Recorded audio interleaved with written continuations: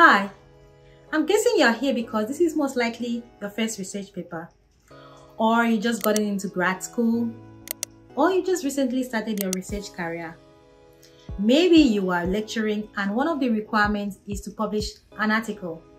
Maybe it is, maybe it is not.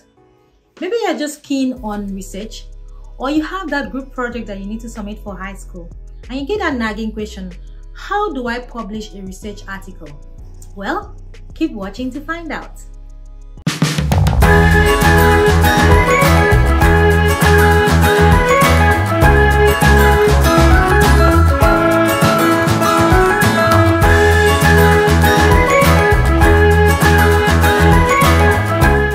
Before I get into the nitty gritty, you should know that there are different types of publication.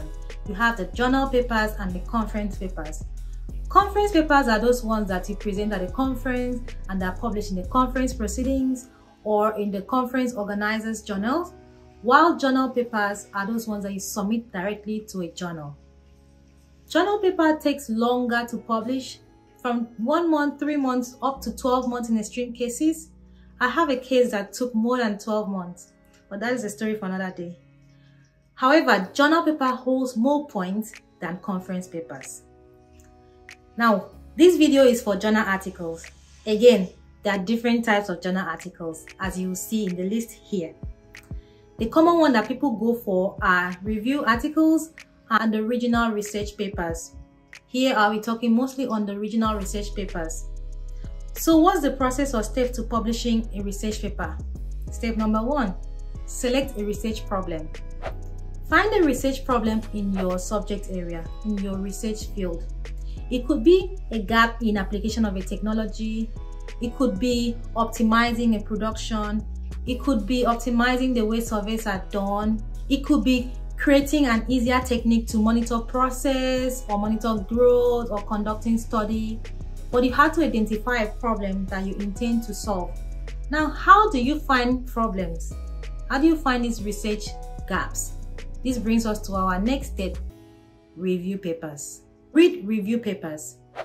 Review papers focus on what has been done in that area, how they did it, what can be done to make it better. So they summarize past research in that field, giving recommendation for future work. More than that, review papers identify recent advances on that topic or in the subject area or the research that you are looking at. So you, you can jump on these topics for your research paper.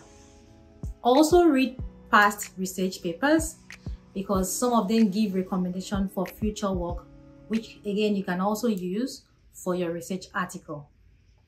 Step three, after you've identified the research gap or the problem by reading this review paper, you move on to finding a better solution that will fill up that gap.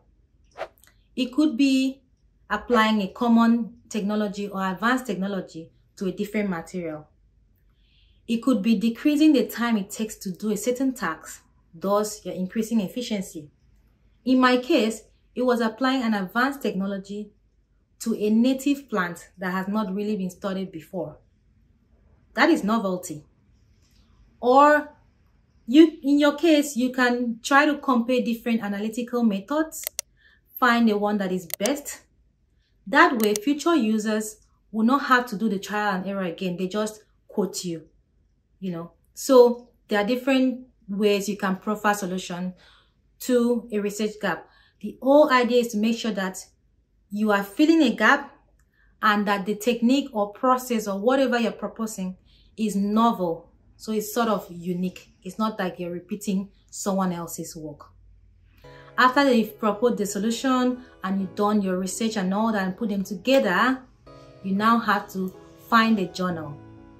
I've made a video on how you can select a journal. The link is here at the top right corner of this video or you can check the description box. I've also put the link down here on how you can select your target journal. After you selected your target journal, the next step is to follow the journal guidelines. Read the guidelines of the journal. Journal guidelines varies per journal, so don't expect to do copy and paste. Agreed, there are some areas where they overlap, especially when it comes to formatting, but it's always good to read the journal guidelines, the ones that you, you plan on publishing your paper with, to avoid rejection. And after you've read the guidelines and done your changes according to those guidelines, you submit your manuscript.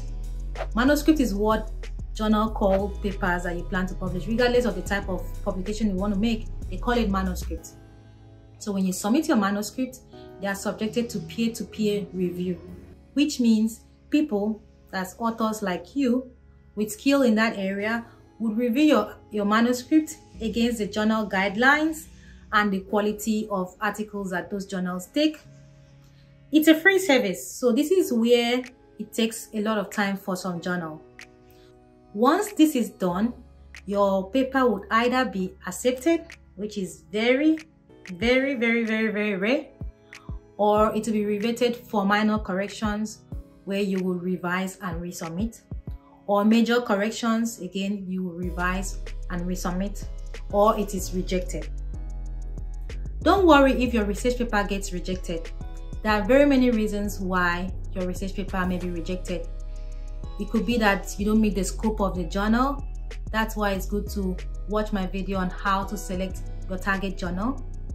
Or you are missing some information that the journal needs or your format doesn't match that of the journal article or the journal format. So again, it's always good to read the guidelines. Whatever the reasons, I know it hurts to get rejected and makes you feel like your work is not good enough. I know that feeling and it's not a good feeling at all.